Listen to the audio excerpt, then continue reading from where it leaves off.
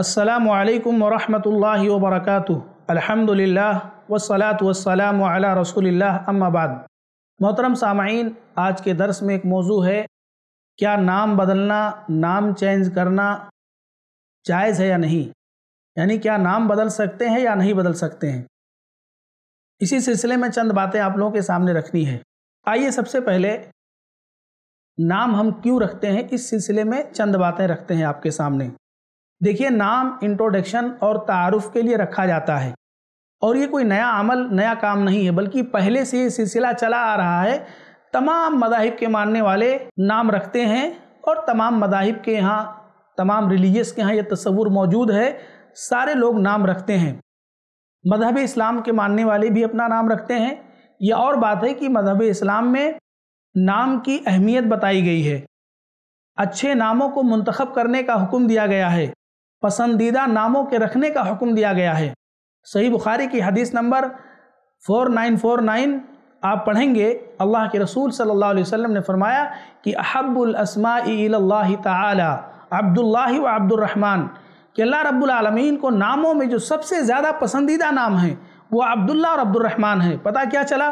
कि पसंदीदा नामों का इंतखब करना चाहिए, अच्छे माना वाले नामों का इंतखब करना चाहिए। मेरे भाइयों दुनिया की ज़िंदगी में नाम की बड़ी अहमियत है। इस दुनिया की ज़िंदगी में इसी नाम से इंसान की शख्सियत मुतारफ़ होती है। यानी इस दुनिया के अंदर भी उसके नाम से उसको याद किया जाता है और मरने के बाद भी उसके नाम से उसे याद किया जाता है। यानी दुनिया के अंदर जब इंसान ज़िंदा होता है, तब भी उसके बहुत सारे कारनामों को, उसके अमाल को, उसके नाम से जोड़ा जाता है और मरने के बाद भी उसके तमाम कारनामों को उसके नाम से जोड़ा जाता है। मिसाल के तौर पर दुनिया में कोई शख्स नेक अमल करे, किसी ने कोई मस्जिद बनवा दी, किसी ने कोई मदरसा कायम कर दिया, किसी ने और इसी तरह कोई अच्छा काम किया, किसी की मदद कर दी तो दुनिया में ज़िंदा है, तब भी उसके नाम के साथ इस काम को जोड़ा जाता है और दुनिया से वो चले जाता है, तब भी उसके नाम के साथ उसको ये जोड़ा जाता है। कुरान करीम आप पढ़ें, उसकी वादे मिसालें कुरान करीम के अंदर मौजूद हैं, नामों के साथ बहुत सारे वाक़ात का तस्करा है बहुत सारी मिसालें आपको कुरान के अंदर मिलेंगी। तो दुनिया के अंदर नाम की बड़ी अहमियत है। मेरे भाइयों, सिर्फ़ दुनिया नहीं, दुनिया से लेकर के आखरत तक नाम की बड़ी अहमियत है। अल्लाह के रसूल सल्लल्लाहु अलैहि वसल्लम की एक रिवायत, सही बुखारी की हदीस number six one double seven.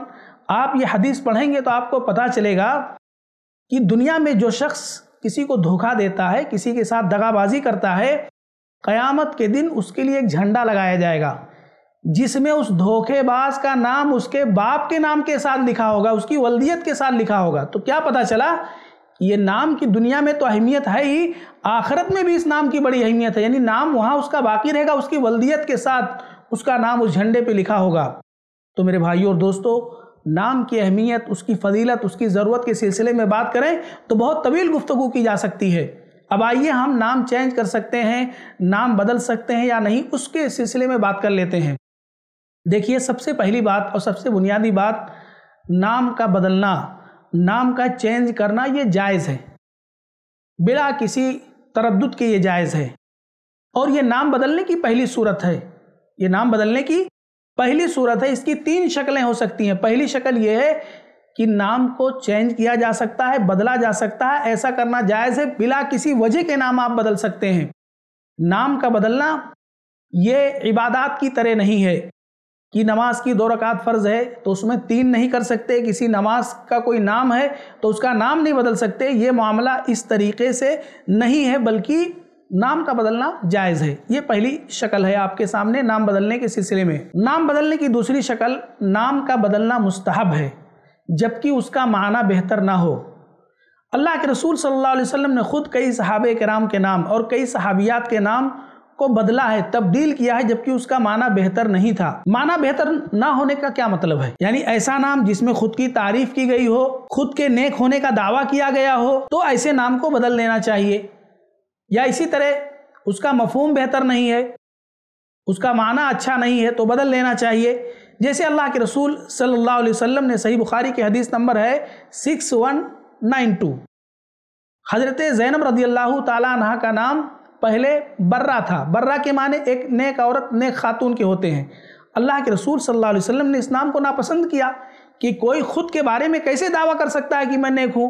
तो फसम्मा रसूल वसल्लम जैनब। तो अल्लाह के रसूल सल्लल्लाहु अलैहि वसल्लम ने इनका नाम जैनब रखा। इसी तरीके से एक और सहाबी हैं। सुन नबू दाऊद की रवायत है, हदीस number three two three zero. उनका नाम जहम था, यानी परेश, माना होता है मुसीबत परेशानी। अल्लाह के रसूल सल्लल्लाहु अलैहि वसल्लम ने उनका नाम बशीर रखा।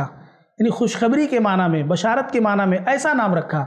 तो पता ये चला कि नाम बदलना मुस्तहब है, जबकि नाम का माना बेहतर ना हो। और बहुत लोगों का नाम आपने चेंज किया। इसकी वादी मिसालें किताब सुन्नत के अंदर मौजूद हैं। दो मिसाल मैंने आपके सामने बतौर दलील पेश की है। आइए जान लेते हैं नाम बदलने की तीसरी शक्ल क्या है। नाम बदलने की तीसरी शक्ल यह है कि नाम का बदलना वाजिब है, जबकि शिरकिया नाम हो या नाफरमानी वाले नाम हो।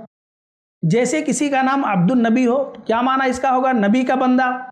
किसी का नाम इसी तरीके से अब्दुल हुसैन हो, हुसैन का बंदा, या नबी बख्श, अब्दुल काबा वगैरह, इस तरह का माना अगर है नाम का, यानी अल्लाह के अलावा किसी और के बंदा होने के माना और मफहूम में अगर कोई नाम आता है, या उसका माना ये बनता है कि अल्लाह के अलावा कोई और हामी, मददगार वगैरह वगैरह तो ऐसे नाम जो शिरकिया नाम है, ऐसे नामों को बदल देना चाहिए, ऐसे नाम को चेंज कर देना चाहिए। अल्लाह के रसूल सल्लल्लाहु अलैहि वसल्लम ने ऐसे नामों को तब्दील किया है। इसी तरीके से तकबर करने वाला नाम, इसका भी बदलना वाजिब है।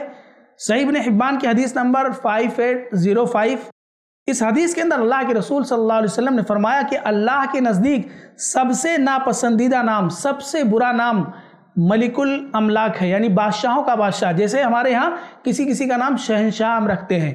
तो शहनशाह नाम रखना ये भी सही नहीं है। अल्लामा अलबानी रहमुल्ला ने इस हदीस को सही करार दिया है। तो मेरे भाइयों तकबर वाला नाम हो तो उसको भी बदलना चाहिए। इसी तरीके से बदलना वाजिब है। नाफरमानी वाला नाम हो तो इसको भी बदलना चाहिए। जैसे आसिया, आइन अलिफ स्वादिया और हा, आसिया, जिसके माना नाफरमानी के हैं। तो अल्लाह के रसूल सल्लल्लाहु अलैहि वसल्लम ने एक सहाबिया का नाम आसिया था तो आपने उनका नाम जमीला रखा। सुनन नबू दाऊद की रिवायत हदीस number four nine five two. तो अल्लाह के रसूल सल्लल्लाहु अलैहि वसल्लम ने नाम को तब्दील कर दिया। यहाँ पर, यानी जबकि उसका माना बेहतर नहीं था, ऐसे किसी का नाम सारिक हो, चोर, जानी किसी का नाम हो, यानी जना करने वाला, गुनाह करने वाला, इसी तरीके से और भी कोई ऐसा नाम हो किसी का, जिसके अंदर नाफरमानी का माना पाया जाता हो तो ऐसे नाम को बदल देना चाहिए, ऐसे नाम का बदलना वाजिब है, ज़रूरी है। आइए एक बात यहाँ आखिर में, नाम बदलने की तीन शक्ल मैंने बता दी।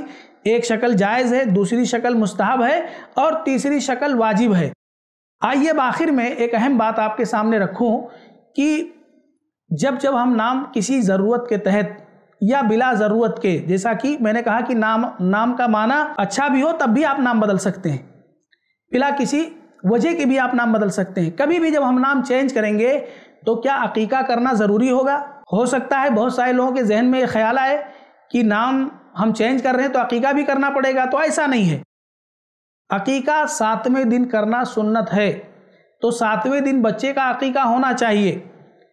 हाँ अगर किसी का अकीका बाकी रह गया है तो उनके वालदे उनका अकीका कर सकते हैं, किसी मजबूरी के तहत वो अकीका नहीं कर सके, या उस वक्त उनके इल्म में यह बात नहीं थी कि अकीका करना चाहिए। तो उनके वालदेन उनका अकीका कर सकते हैं, वो खुद भी अपना अकीका कर सकते हैं, लेकिन नाम बदलने के लिए अकीका करना बिल्कुल भी ज़रूरी नहीं है। ज़रूरी नहीं, बिल्कुल करना ही नहीं है। शक की इसमें कोई गुंजाइश नहीं होनी चाहिए। एक आखिरी और बहुत अहम बात कि नाम कब बदलना नाजायज़ होगा, ये बहुत ज़रूरी है। इसको हम ना समझें तो हो सकता है कि बात अधूरी रह जाए। नाम बदलना उस सूरत में जायज़ नहीं होगा, जबकि नाम बदलने के पीछे कोई बातिल अकीदा हो। जैसे किसी नाम को कोई नहुसत वाला समझे कि ये नाम बड़ा मनहूस है, इसको हटा दो तो सारी मुश्किल हल हो जाएँगे। घर में रोज़ी की, रोज़ी आ जाएगी, बरकत हो जाएगी और रोज़ी के दरवाज़े खुल जाएँगे या बीमारी दूर हो जाएगी नाम के बदलने से या नाम के बदलने से शादी हो जाएगी वगैरह वगैरह। यानी ऐसा कोई अगर अकीदा है कि नाम बदलेंगे तो रोज़ी बढ़ जाएगी, शादी हो जाएगी, ये हो जाएगा, बीमारी दूर हो जाएगी तो ये बातिल अकीदा है। ऐसा बिल्कुल भी नहीं करना चाहिए। ऐसा करने से इंसान गुनहगार होगा। तो मेरे भाइयों, नाम चेंज करना या नाम बदलना जायज़ है या नहीं, या चेंज कर सकते या नहीं, इस सिलसिले में चंद बातें मैंने आपके सामने दर्स में रखी हैं। उम्मीद की बात आपको समझ में आ गई होगी। आखिर में अल्लाह रब्बुल से दुआ कि अल्लाह तबारक ताली हम सबको ज़्यादा से ज़्यादा नेक अमल की तोफ़ी अदा फरमा। आमीन। तकबल या आलमीन। जजाकुमुल्लाह खैर। वसलाम वरहमल वर्का